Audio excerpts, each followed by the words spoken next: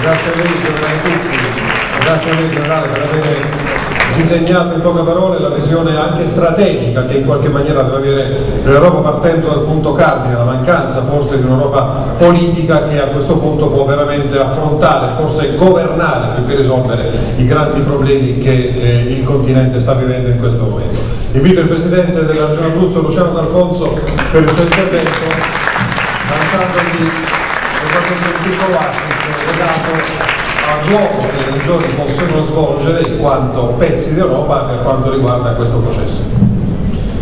Siccome anch'io faccio parte di questa bellissima platea che vuole sentire Romano Prodi, eh, mi conterrò e mi tratterrò proprio lungo lo spazio di un intervento che arricchisce la parte di interrogativi e di domande.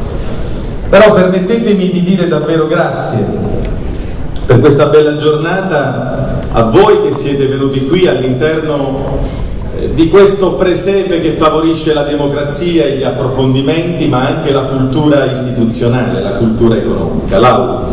Spiegavo a Romano Prodi la storia di questo edificio, ma anche l'ambizione di questo edificio e penso che chi ha pensato questo edificio sia particolarmente contento ogni volta che si dà luogo a questo livello profondo e esigente di approfondimento. Grazie a te Presidente Prodi perché rappresenti diciamo nello spazio di coloro i quali si occupano dell'Europa e della costruzione europeista quello che a me piace definire come un euro costruttore. Così come voglio dire grazie a Caracciolo per questa opera di straordinaria riuscita volgarizzazione dell'Europa e lo ha fatto con la bravura della sua competenza e con la resilienza di una iniziativa editoriale, dicevamo prima con Prodi, che ha la luce del miracolo, perché eh, l'Imes è la prova dell'esistenza di Dio, direbbe il mio avvocato. Io dico semplicemente che è un miracolo che consente a ciascuno di noi di sapere sempre qualcosa in più. E grazie che sei venuto a Pescara per la seconda volta. Io ti presenterei ai miei figli, a quelli che io conosco piccoli e bambini, come un euro esigente. E oggi hai dato prova di questo approccio, di questa cultura da euro esigente. E il mio amico Cucchi, voi dovete sapere che lui è un generale, ma non è un generale qualsiasi. Non è un generale perché lo ha collocato tale un istituto di previdenza. Lui è stato il più grande servitore con questa qualifica di chiamata al servizio pubblico e ha seguito dall'alto di una elevatissima responsabilità il coordinamento dei servizi di intelligence in Italia per tanti anni e non ha fatto solo questo. Io lo voglio ringraziare da piccolo decisore territoriale perché quando c'è stato lui lì non è accaduto un minuto di disordine e ha conosciuto dalle altezze di quel servizio davvero un'altra parte fondativa dell'Europa. Qual è l'ambizione di questa giornata? Noi abbiamo voluto conficcare a terra, diciamo, due corni tematici. Nomos e Caos, che poi ha dato anche luogo, questa coppia tematica, alla intitolazione di una bellissima e ambiziosa rivista, quella che anima sia Cucchi che altri amici che stimano e alimentano lo sforzo, l'iniziativa culturale e riflessiva di Romano Prodi.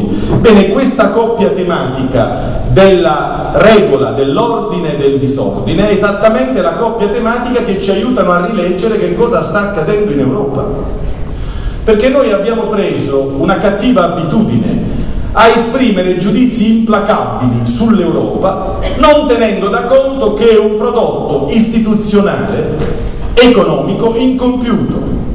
Noi non teniamo da conto l'incompiutezza di questo cammino e organizziamo al riguardo un giudizio implacabile, quasi definitivo. Allora la prima domanda è perché il cammino dell'Europa si è interrotto?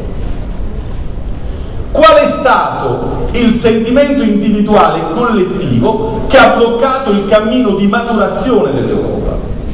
Io collocherei, caro professore Prodi, ma anche mi rivolgo al direttore di Limes, io collocherei lì e Sacquò quando per esempio nel 2003 non si è voluto esaminare e disanimare per quanto riguardava la complessità che poneva questo, ad opera dell'Europa la lettura dei bilanci degli Stati-nazione, Perché non si è preteso di dare una lettura all'altezza che facesse una operazione verità dell'ingresso degli Stati-nazione all'interno di questa sfida che è appunto la sfida dell'Europa? Perché ogni Stato-nazione ha riprecisato i propri confini di impenetrabilità e poi accade la Grecia. E io non mi meraviglio che accade la Grecia con il suo carico di illeggibilità, di indicifrabilità, ma anche con il suo carico di egoismo proprio dal punto di vista dell'approccio. Noi dovevamo lì essere esigenti e lì pretendere quote di cessione di sovranità. La cessione di sovranità ci avrebbe portato a stabilire delle regole adulte che configurava un'Europa come soggettività politica quale, sulla quale potevamo fare conto quando poi ogni volta la crisi si presenta e adesso è la crisi migratoria di questo via vai di popoli che naturalmente la globalizzazione porta con sé, ma ogni volta che la globalizzazione ha dato luogo alla esistenza di sé, come hanno reagito gli stati, le statualità? Ingrandendosi, anche al tempo dell'ingrandimento del nostro Stato nazionale. Che cos'è che ha spinto l'ingrandimento del nostro Stato nazionale? Una vicenda di crisi, frutto allora di una dimensione di globalizzazione. E noi oggi rischiamo di non avere gli arnesi per reagire alla globalizzazione perché non abbiamo la configurazione statuale all'altezza. Qual è il livello dell'intensità dell'unione che noi vogliamo insediare? Per esempio un livello di intensità che dovrebbe fare sì che il bilancio dell'Unione sia più grande per poter dare luogo a delle politiche. Il bilancio dell'Unione è soltanto da esistenza in vita. E anche qui, in ragione di un egoismo di alcuni Stati-nazione più di altri, e sono stati anche denominati, ma provate a immaginare per esempio tutta la partita che c'è oggi, qui ci sono anche giovani importanti nella vita di alcune significative aziende, tutta la partita del gigantismo delle imprese, della digitalizzazione, della economia digitale. E che cosa fa uno Stato-nazione nei confronti di questa straordinaria potenza delle imprese della economia digitale? Se non si attrezza, non si adegua, non dà luogo ad una evoluzione degna del significato di questa parola. Invece noi stiamo assistendo centimetro dopo centimetro, metro dopo metro al contrario della evoluzione che si chiama involuzione. E io non mi meraviglio che poi risultiamo inadeguati, invalidati e incapaci, come nella vicenda dei flussi migratori.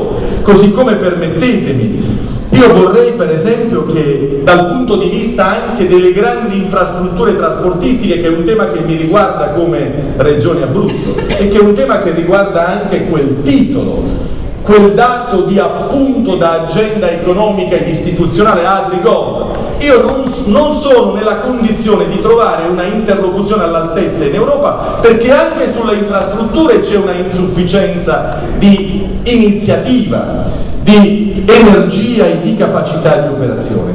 Allora le domande che pongo al professore Prodi. Quanto grande deve essere l'Europa? Che atteggiamento assumiamo rispetto alla Turchia? La Turchia come la vogliamo rubricare rispetto al cammino europeista? E ancora, per quanto riguarda la profondità dell'Europa, del suo costituirsi soggetto politico, la legittimazione democratica che noi diamo a chi assume il ruolo di guida dell'Europa, quale deve essere? Non ce la fa l'attuale livello di legittimazione democratica. Mettiamo in discussione anche la legittimazione democratica. Io sono un lettore animato da passione studentesca dei testi di Limes e uso leggere sottolineando in rosso e in blu quello che devo ricordare e memorizzare.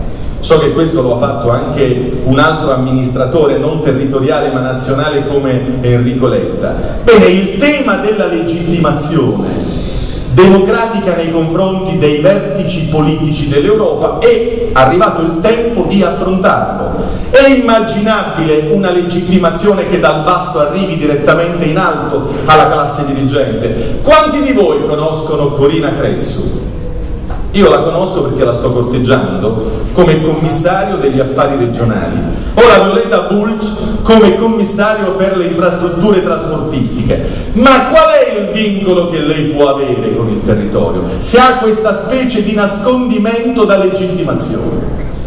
Ultima sottolineatura che voglio fare al Presidente Prodi, sapendo che su questo sono anni che mi cimento. Eh, il professore Luciano D'Amico ha fatto una introduzione che mi facilita, ma anche Nicola Mattoscio. Presidente Prodi, la cittadinanza europea. Allora, noi con gli stati nazionali abbiamo insediato la categoria della cittadinanza nazionale vedo un bravo professore di filosofia del liceo classico di Pescara, il professore Scenna, sono convinto che su questo ha animato ore e ore di dibattito con i suoi ragazzi. Con gli Stati-nazione nasce la cittadinanza nazionale, quel patto, quel vincolo che in ragione della fiscalità dà luogo a dei diritti. Qual è il contenuto della cittadinanza europea? Io non ho trovato nulla che sia stato oggetto di adeguata riflessione su questo campo. Che cos'è che riempie di sé il patto che lega il cittadino con l'Europa? Perché se è soltanto il diritto di non esibire il passaporto è poca cosa. Cioè se io sono disoccupato in una terra e mi sposto in un'altra senza esibire il passaporto, beh insomma mi pare che sia poco per motivarmi e farmi resistere rispetto ai venti della demagogia e del populismo che hanno fatto cambiare opinione ad una classe dirigente nazionale che da quel momento in poi, dopo l'esito referendario, ha assunto un atteggiamento, permettetemi una volta sola, stitico sull'Europa. Dopo l'esito referendario c'è stato un rimpicciolirsi di entusiasmi e poi a cascata da ultimo lo spettacolo della fusione dell'Inghilterra, quello che ha detto Cameron anticipando come uno spettro tagliente, sanguinante faremo il referendum per vedere cosa deve essere il rapporto tra i miei cittadini e l'Europa. È chiaro che non gioca a favore. Allora chiedo a Romano Prodi, sapendo che davvero lui ha scritto con la sua vita e sulla sua vita quello che oggi abbiamo di buono di coinvolgente del cammino europeista, secondo te come va riempito questo? Non del pensiero di Emanuele Severino. Emanuele Severino il 3 di agosto ha firmato per la centralità del suo articolo un editoriale dove dice che non c'è nulla da scommettere sull'Europa, tanto alla fine sarà la guida di scienza e tecnica e la politica e la democrazia verranno messi definitivamente da parte.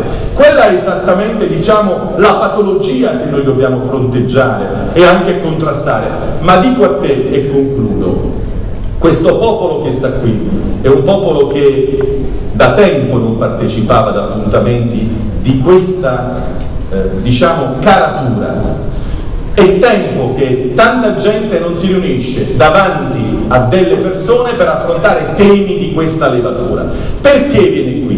Perché tu rappresenti, voi rappresentate il segno che una evoluzione in avanti è ancora possibile, anche su questo tema difficile dell'Europa. E il ruolo delle democrazie territoriali è fondamentale, il ruolo diciamo, del superamento dell'appalto alle cancellerie è straordinariamente fondamentale, però io chiedo a te, aiutaci a riempire di significato cosa ha da essere l'Europa anche nei confronti della pretesa, dell'attesa, del ruolo anche attivo del cittadino. A me è piaciuto molto quando in ragione dell'incarico che ho a Bruxelles all'interno del Comitato delle Regioni, e quello è stato uno sforzo di legamento col territorio, ho visto l'entusiasmo di giovani a migliaia del progetto Erasmus. Quella Europa lì si capisce, è l'Europa della formazione, è l'Europa di un'abilitazione che consente davvero di diventare protagonisti.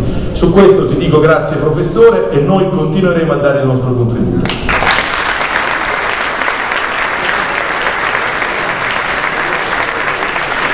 Grazie al Presidente Alfonso per il giovane ma anche per richiamo alla grande tecnologia che purtroppo non passa attraverso l'Europa. Professore, prego, si accomodi Presidente Prodi.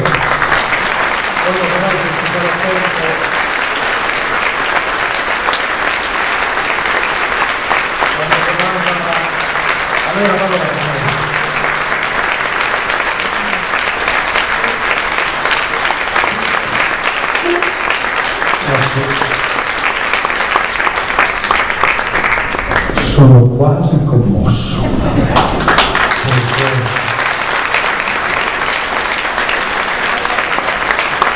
Mi ero, mi ero ormai disabituato a vedere tanta gente e eh, davvero mi fa un enorme piacere che siamo qui a discutere di Europa, a discutere del nostro futuro la via mi è stata resa molto più facile dai discorsi introduttivi. A questo punto dovrei solo aggiungere grazie e andarmene via, perché il quadro è già stato fatto in modo assolutamente perfetto e eh, il problema dell'Europa è già stato posto da tutti gli oratori che mi, che mi hanno preceduto in modo direi esauriente.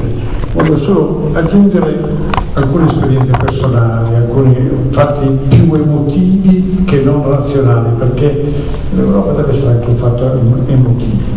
Se noi non la sentiamo come un problema di emozione, la politica non è solo cervello, la politica è anche cuore, la politica è quando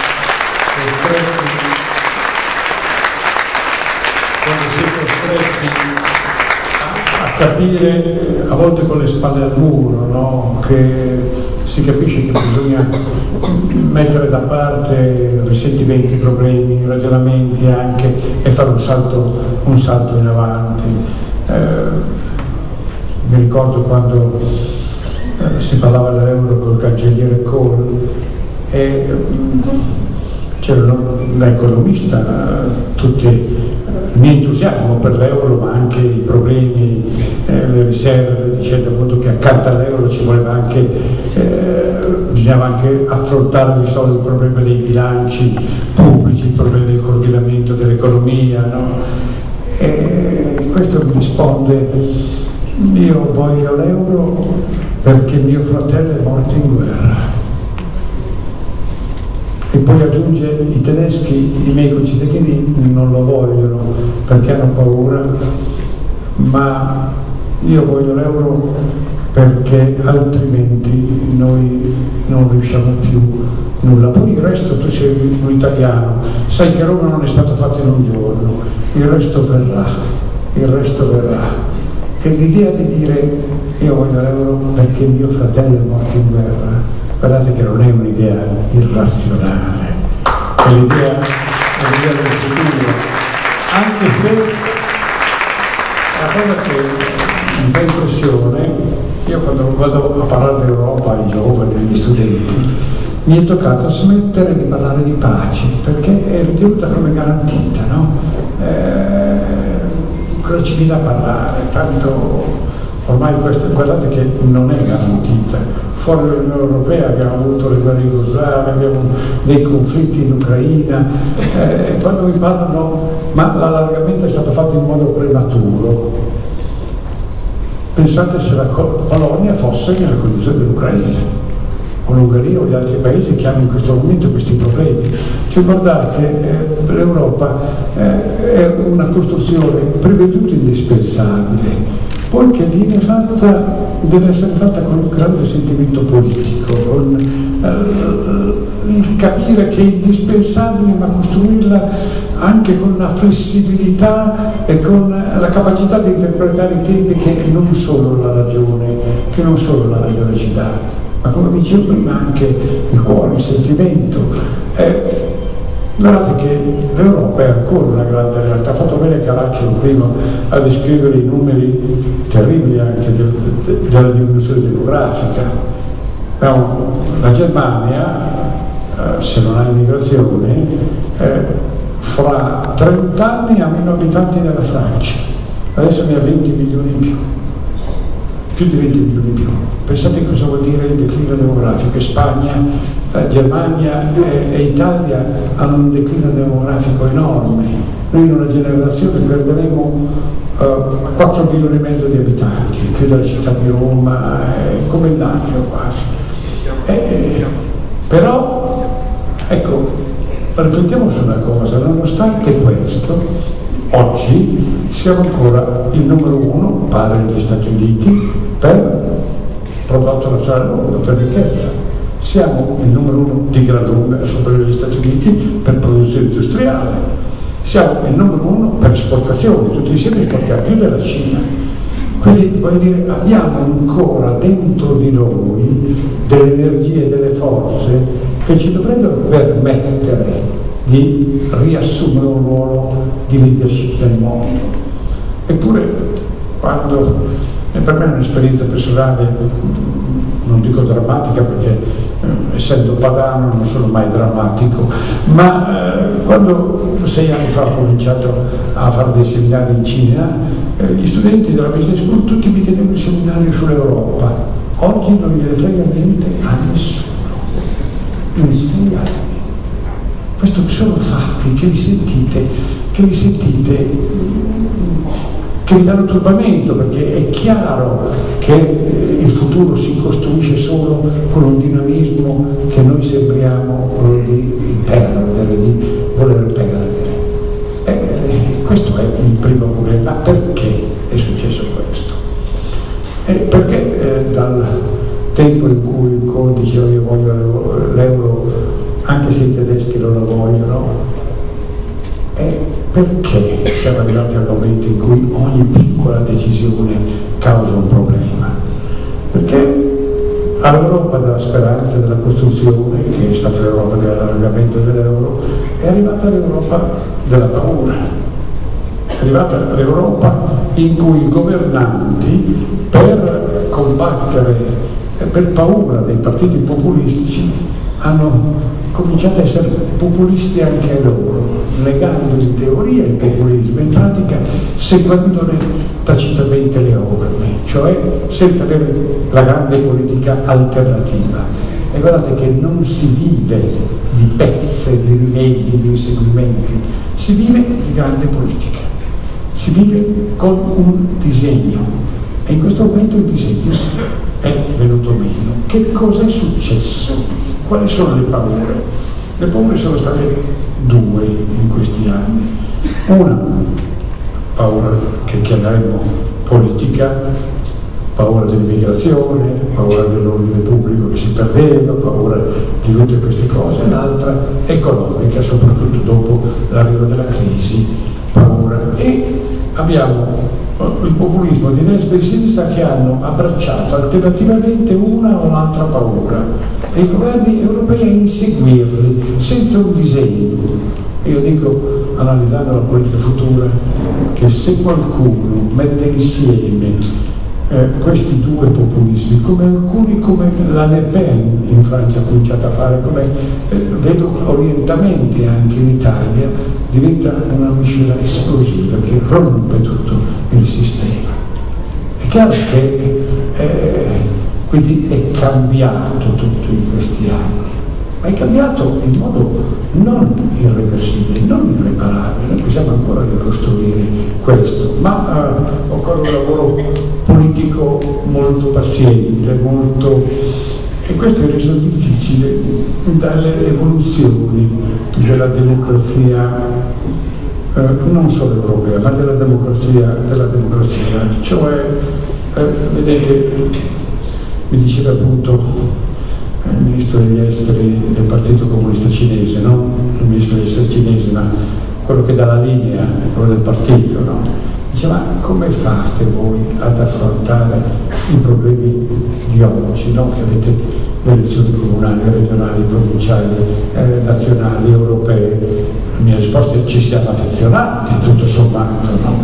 E, eh, il ragionamento, il ragionamento era, ed è un ragionamento di una grande raffinatezza che ci deve obbligare a pensare, cioè mm, non solo le lezioni ripetute, ma il fatto che avendo questa continua elezione incrociandola con tutte le analisi demoscopiche, ogni elezione parziale è diventata un'elezione di carattere nazionale, un'elezione che cambia le decisioni del, dei governi e quindi delle istituzioni europee, cioè l'elezione del comune di Pescara è un caso nazionale. E questa è la novità della nostra democrazia.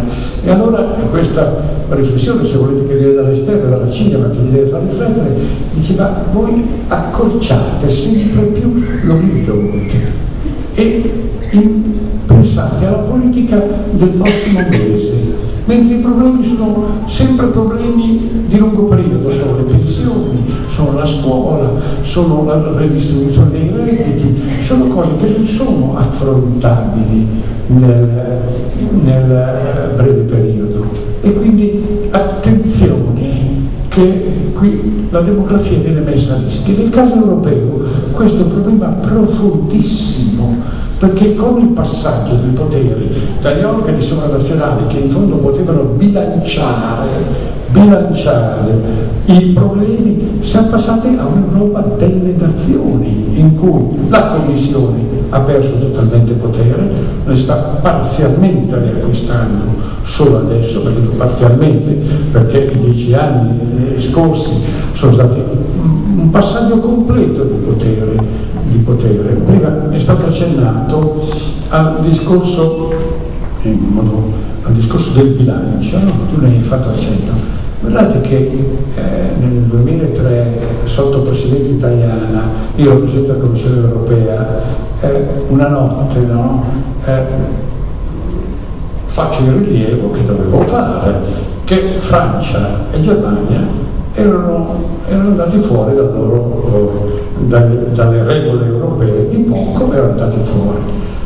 Schröder, socialdemocratico da un lato, eh, eh, Sarkozy eh, di destra dall'altro mi dicono tutti tu taci taci la presenza italiana felice di assentire taci perché eh, questo è un potere dei singoli paesi a questo punto faccio presente eh, sì però mettiamo almeno un'istituzione che certifichi i bilanci no? una corte dei conti europea no gli svedesi, spese inutili, burocrazie, eccetera. Allora dico, diamo in carico all'Eurostat, è l'ufficio statistico che esiste, c'è già, non costa nulla, fermo queste prerogative degli Stati.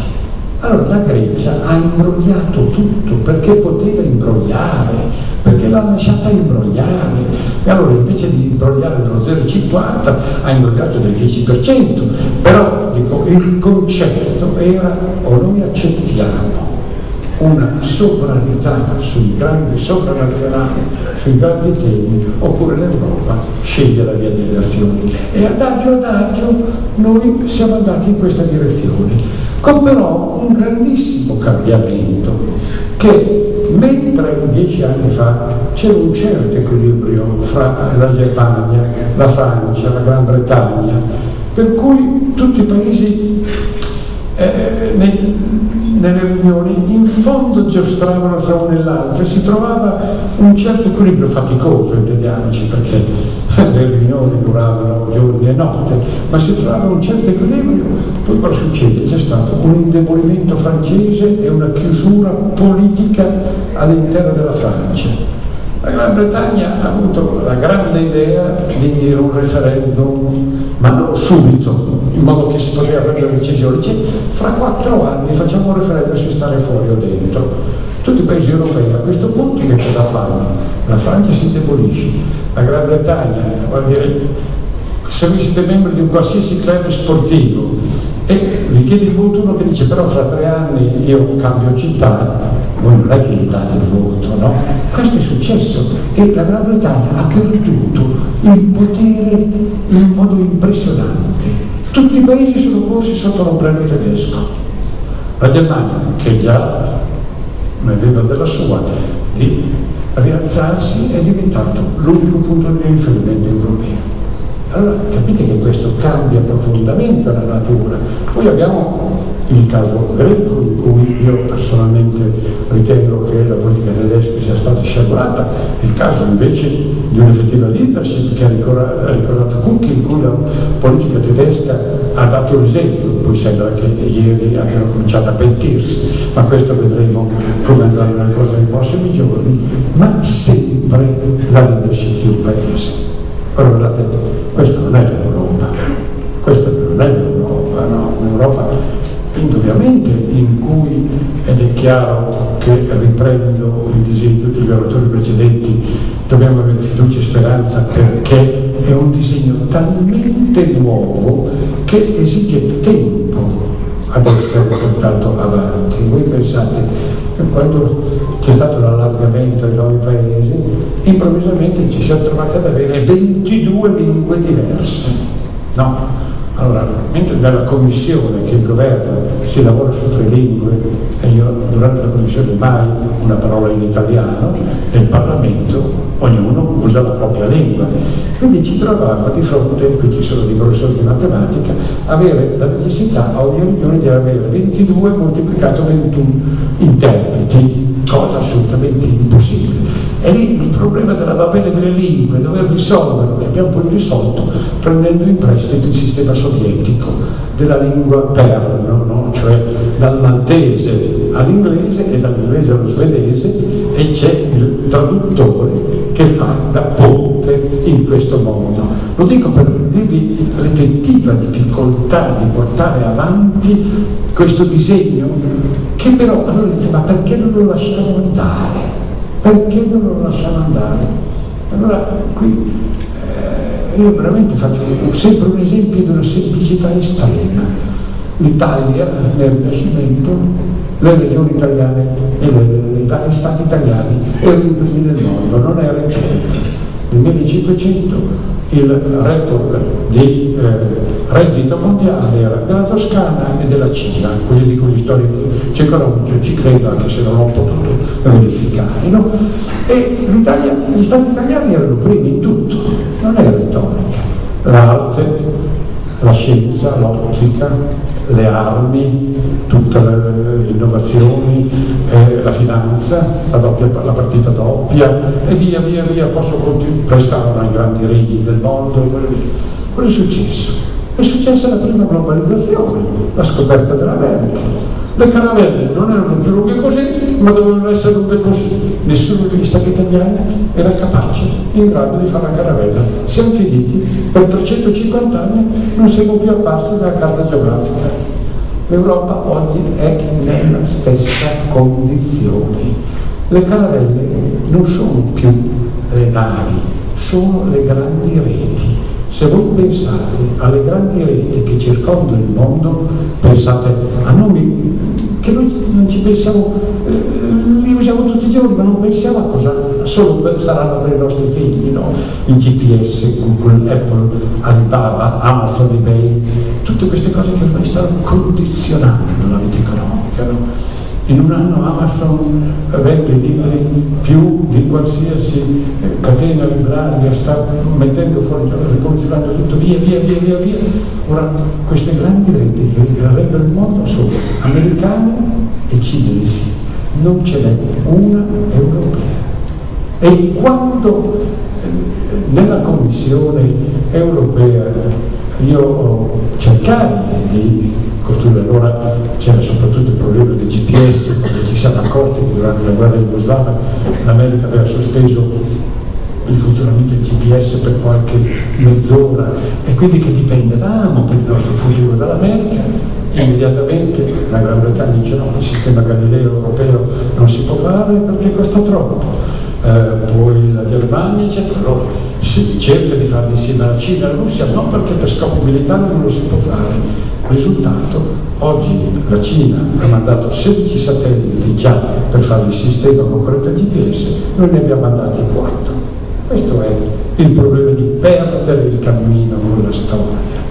Ecco perché è, è così importante costruire un'unione politica che possa prendere queste, possa prendere queste decisioni, ma certamente eh, ci vuole un discorso eh, di legame democratico, no?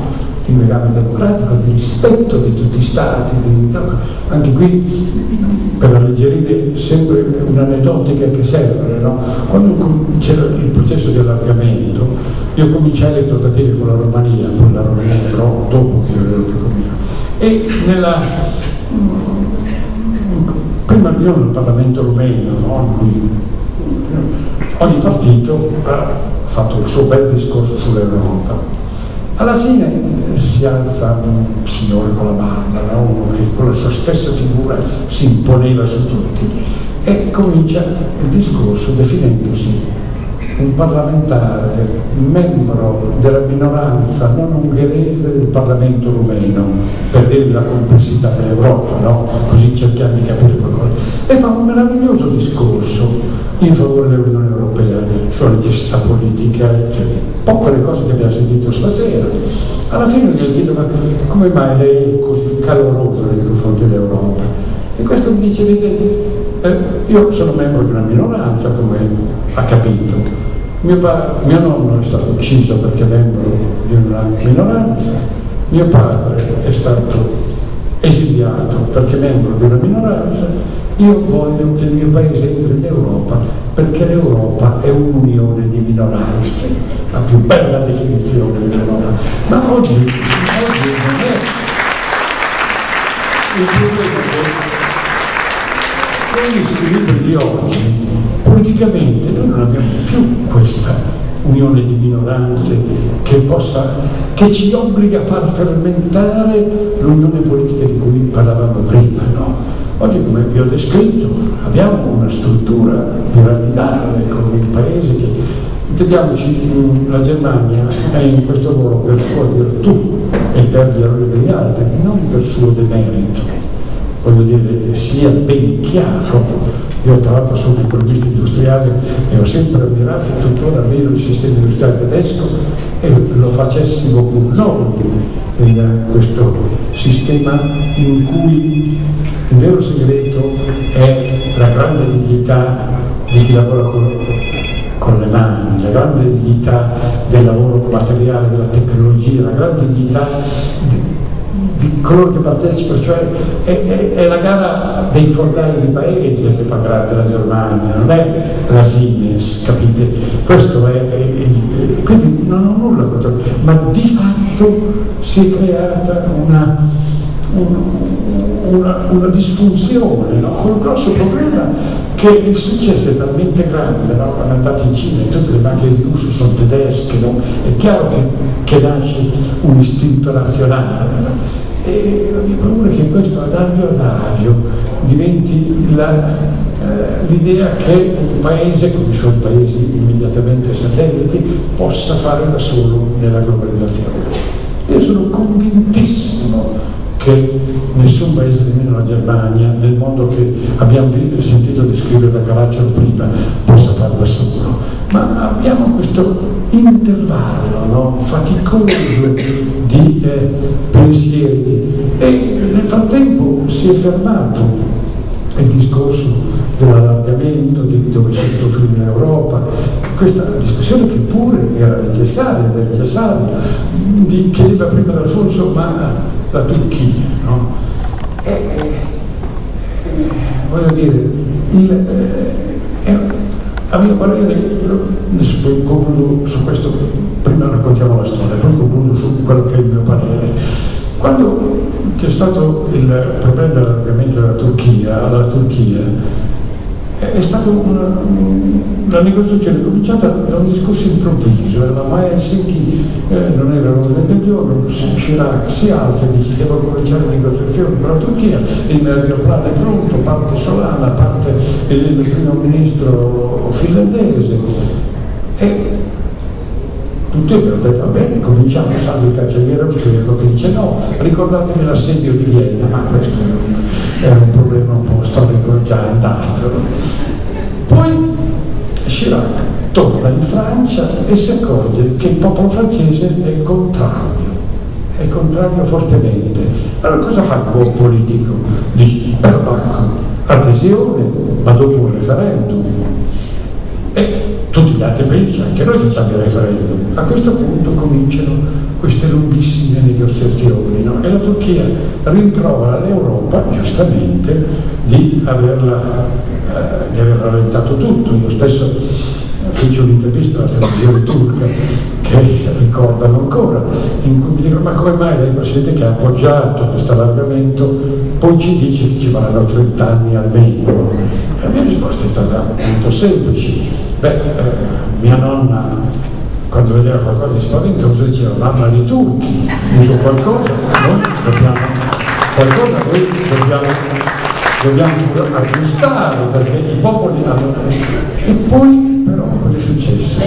Che o a causa europea o io ritengo più a cagione interna è, è cambiata la Turchia La Turchia è diventata una potenza regionale e una potenza regionale non aspetta a prendere delle decisioni eh, che a Bruxelles si facciano 66 milioni. La Turchia un giorno caccia via l'ambasciatore di Israele, l'altro giorno caccia via quello egiziano, poi fa un'azione pro, un'azione contro, poi fa l'azione contro i curdi. A questo punto non ha più, secondo me, una politica compatibile con l'entrata nell'Unione Europea. No? Poi forse la storia si ricompone, i negoziati continuano ad andare avanti, ma vedo che questo orizzonte procede in due direzioni diverse, quindi se mi chiedi qual è il confine in Europa, io dico l'Europa si ferma ai Balcani, però deve includere tutti, compresa l'Albania. Ecco, poi i confini dell'Europa di oggi si fermano, ma c'era una proposta di politica vera che si chiamava l'anello degli amici, cioè ci fermiamo qui, ma tutti i paesi che sono vicini all'Europa, proprio per creare, per continuare la tradizione di pace che avevamo dalla Bielorussia, Ucraina, via via Siria, Israele, fino al Marocco, tutti quelli che confinano con l'Europa hanno il diritto di cominciare trattative bilaterali su tutti i temi di politica e di economia, esclusa la partecipazione agli organi istituzionali. Infatti il progetto si chiamava Tutto tranne le istituzioni. Ma di fronte alle evoluzioni che ci sono state, questo progetto dorme. Ma attenzione, che io penso che prima o poi la storia debba risvegliare questi progetti, perché il progetto europeo non è la prima volta che è in crisi. Abbiamo addirittura avuto un lunghissimo periodo di tempo in cui la Francia era fuori dall'istituzione europea, il cosiddetto periodo della sedia vuota e dei gol, i più giovani non lo possono ricordare, ma la Francia non partecipava all'Unione, abbiamo avuto quindi fortissime crisi, ma quando il disegno collettivo urta contro i problemi della storia, allora si ritorna verso un cammino nell'Unione Europea. Io penso che noi prima o poi ritorniamo verso questo, questa necessità della storia, perché, perché il problema della nostra emarginazione è un problema troppo urgente, troppo forte. Ed è chiaro che l'emarginazione politica di fronte alla forza economica che pure abbiamo deriva tutta e solo dalle nostre divisioni.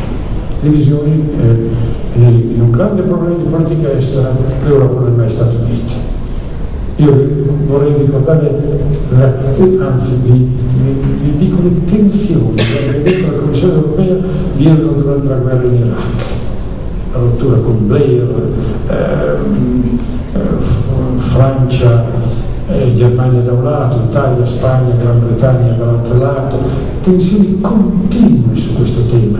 Voglio dire, quando si ha una tensione sul problema della pace e della guerra, eh, non si può avere la politica finché non c'è una politica estera di difesa comune non si può avere una politica. È questa che noi dobbiamo costruire nel tempo e costruire con pazienza.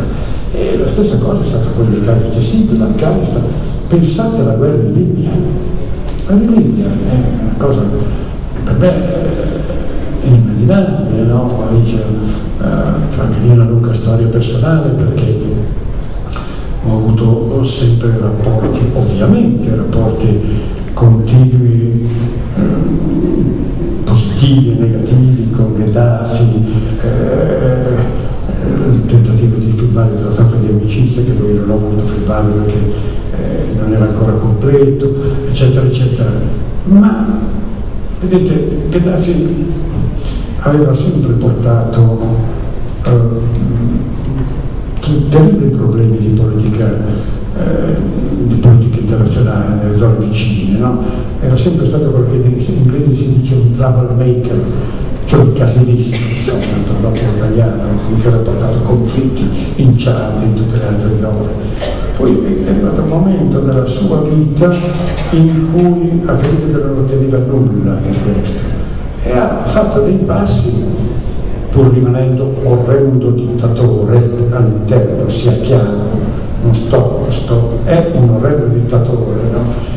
pur eh, essendo rimasto questo, ha cominciato a capire che non aveva più alcun interesse a portare turbamento nell'area. Allora ha fatto dei passi incredibili a pagamento del, del, del, del famoso eh, aereo francese di Lockerbie, pagamento eh, per la discoteca La Belle di Berlino, tutte queste cose, tra l'altro ho dovuto anche assistere a, a delle strane recriminazioni no? dei francesi che dicevano che i loro morti erano stati pagati meno di quelli americani, no? di questo tipo, no? ma a un certo punto questo vuole diventare il re dell'Africa e comincia una politica più non militare ma di eh, espansione economica possiamo dire. Eh, addirittura la Libia pagava il 25% del bilancio dell'Unione Africana, un paese di 4 milioni di abitanti che paga il 25% del bilancio di un continente di un miliardo di abitanti. No? Quindi, e, quindi c'era da gestire evidentemente, chiaro, ripeto, nella politica interna eh, dittatore, ma con un paese formato da tribù eh, estremamente diverse fra di loro. No? Tra l'altro devo dire che tutte le volte che ero andato in Libia avevo sempre preso contatto con le tribù, perché è un paese complicato. Improvvisamente si attacca la guerra, si rompe questo equilibrio senza pensare quello che poteva venire dopo. No? ed è un altro degli episodi che ha sconvolto non solo la realtà del Mediterraneo, ma eh, ha reso impossibile eh, tutte le trattative per l'immigrazione che sarebbero state comunque difficilissime, ma non impossibili come sono avvenute, avvenute adesso. E, eh, quindi, ed è stato l'Europa divisa, la Germania non ne ha dovuto sapere, la Francia e la Gran Bretagna erano al fronte rispetto a queste, a queste decisioni, non capisco l'Italia perché è la prima volta nella storia che vedo un paese che paga per una guerra contro se stessa, ma questo è un altro problema eh, abbastanza difficile da comprendere. E allora eh, ancora una volta un'Europa divisa e nella politica del Mediterraneo, adesso ho durato anche troppo, quindi bisogna che termini la risolta, nella politica del Mediterraneo la divisione è stata ancora maggiore. Quando c'è stato l'allargamento, questo poi interessa l'Abruzzo, interessa le giovani, quando c'è stato l'allargamento tutti i paesi, i dirigenti dei paesi del sud del Mediterraneo ovviamente vi rimproveravano dicendo ma voi guardate solo a nord e a est. Eh, la mia risposta era ma qui è passato un treno della storia, c'è urgenza, ma ho un impegno in tutti i paesi di andare verso il mezzogiorno con dei progetti. E questo non è assolutamente avvenuto nemmeno per piccole cose cioè la proposta della Banca per il Mediterraneo è stata bocciata, la proposta dice prima degli amici che è stata bocciata, la proposta non si è voluta nemmeno passare a una proposta di una elementarità totale, la costruzione di università a cui io tenevo moltissimo, università metà nord e metà sud, non so ad esempio, l'università che ha la sede a Catania e, e a Tunisi, insomma, no? Uguale numero di professori del nord, uguale numero di professori del sud, uguale numero di studenti del nord e del sud e gli studenti che facevano due anni a nord, due anni a sud. E per evitare tutte le grane religiose, cominciamo con l'ingegneria e il facoltà scientifica. Su tutto questo niente, gli Stati Uniti mettono qui le risorse economiche e veniamo all'ultimo punto sull'Europa in generale, c'era da flusso al bilancio, tutto il bilancio dell'Europa, dell'Unione Europea è meno dell'1% del prodotto nazionale europeo, 0,96 ho finito io. Allora, nello Stato federale c'è almeno tra il 20 e il 30% del bilancio europeo no? e lo si è tenuto in questo modo. Oh, guardate che nell'1% ci sta la burocrazia, eh, le ambasciate all'estero, tutta la politica agricola che prende il 40% di questo, la politica di ricerca, eccetera. Allora, ecco, il problema di un'Europa che ha l'obbligo dei grandi disegni e che i paesi nazionali tengono ristretto in un ambito minimo. E il, il Sud è stato sotto questo aspetto emarginato, non solo nel problema, la mia franchezza dell'immigrazione, perché finché il problema toccava solo l'Italia, alla fine era un problema puramente di gestione burocratica. Quando il problema si è allargato da altre parti è diventato un grande problema politico e la Merkel è stata intelligentissima, ha dimostrato leadership, come ha detto Cucchi prima, leadership a, a controllare, scegliendo bene per il futuro del proprio paese, perché scegliendo gli esuli, eh, i rifugiati siriani c'è il 40% di laureati il 50% di diplomati e l'un il 50% di analfabeti. Allora voglio dire, questi immigrati sì, è un'opera cristiana ma è anche un'opera umana. Ecco. E vediamoci, il grande politico unisce l'utile e dilettevole. Ecco.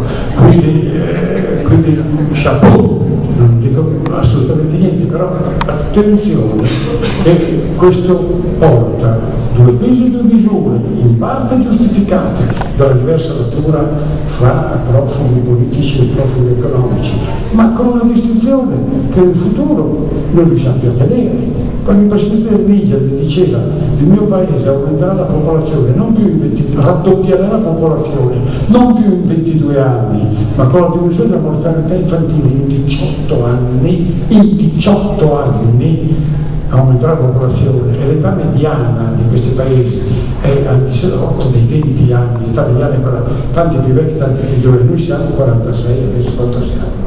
Allora, voglio dire, di fronte a queste cose della storia, o noi li gestiamo a livello continentale, oppure non sono gestibili. Per quello che dico, prima o poi eh, la forza delle cose ci obbliga a portare avanti questo disegno che intanto esiste, che intanto esiste, quindi è importante che esista. Eh, punto di riflessione è il nostro meridione, no? E qui è un problema serio perché eh, mentre tra Germania dell'Est e Germania dell'Ovest le differenze sono sempre diminuite, mentre fra i paesi più poveri e più ricchi le, le, le, differenze sono diminuite, nell'Italia fra nord e sud le differenze sono fortemente aumentate. Anche negli anni della crisi il nord è andato indietro un po', il sud è andato indietro un bel po'. E questo è un problema di importanza enorme, ma qui mi rivolgo al vostro Presidente, qui eh, occorre assoluto salto in avanti fra le regioni meridionali. Se loro non fanno un blocco di coordinamento degli investimenti e di coordinamento di una politica eh, e quindi lo impongono al governo italiano, viene fatto troppo dal governo italiano o il governo italiano oppure le regioni, vedete il discorso. Quindi non cambia assolutamente nulla, perché ogni singola regione è troppo debole per farsi eh, sentire a Bruxelles e la frammentazione sta distruggendo anche la speranza del mezzogiorno perché occorre, abbiamo scritto un bellissimo articolo di Esti recentemente, occorre non solo una politica di infrastrutture, ma una vera politica economica globale, no? eh, individuare alcune città che possono avere un superiore dinamismo nella ricerca, concentrare le ricerche, fare dei grandi poli turistici in modo che ci sia la convenienza ad avere la Ryanair eh, che fa il discorso quotidiano. Se non si fanno assieme questi discorsi si perde. Ma io penso che la Sicilia ha il 9% dei turisti delle Baleari ma mi viene da ridere per non piangere, perché non ha, non ha senso, non esiste il problema, se non nella follia della nostra frammentazione e non saper organizzare la nostra politica. Quindi attenzione che in questa Europa il discorso degli equilibri deve essere portato avanti da una forza politica interna. Ho fatto l'esempio di Mezzogiorno perché siamo qui a Pescara, dal punto di vista della politica economica è chiaro che secondo me occorreva, ma non è stato possibile, una forte alleanza fra Francia, Italia e Spagna negli anni scorsi, soprattutto nel caso greco, in modo da adottare una politica diversa non una politica contro la Germania, ma perché la Germania deve avere il 7, tra il 7 e l'8% di surplus della bilancia commerciale eh, per avere il bilancio assolutamente in pareggio mentre poteva e doveva essere la locomotiva dell'Europa. Chiaro, la politica la decidono loro, va benissimo, ma attenzione che questo rompe lo spirito europeo di cui abbiamo bisogno. E nello stesso tempo è chiaro che gli interessi che noi dobbiamo portare avanti in Europa e coordinati con gli altri possono essere portati avanti solo se c'è una forza politica. Da quello che dicevo, le singole regioni del Mezzogiorno non hanno la possibilità di farsi, di farsi ascoltare capisco che non è facile per motivi politici, per motivi di personalità avere questa unione, ma se non lo si ha si è assolutamente, si è assolutamente perdenti. Ecco, questo è il, sono i ragionamenti che io volevo fare qui in modo molto scordinato, molto libera, ma dando il senso della sfida e il senso anche delle prospettive che noi abbiamo. E io credo che mh, appunto per, eh, di fronte a un disegno storico senza alternative eh, poi ci stacchiamo di perdere. Dopo interviene un discorso di maggiore senso dell'interesse, dell'interesse comune. È chiaro che eh, non lo possiamo fare se lasciamo la strada ai populismi, alle divisioni, eh, se la politica di Orban diventa la politica europea ma io credo e ho fiducia proprio in questo senso della storia di recuperare questa occasione, essendo ancora, ripeto, il numero uno nell'economia mondiale, essendo ancora, avendo delle risorse eh, economiche, politiche, intellettuali eh, straordinarie, eh, non lasciamo che la leadership mondiale venga presa da altri in modo assolutamente irreparabile. Grazie.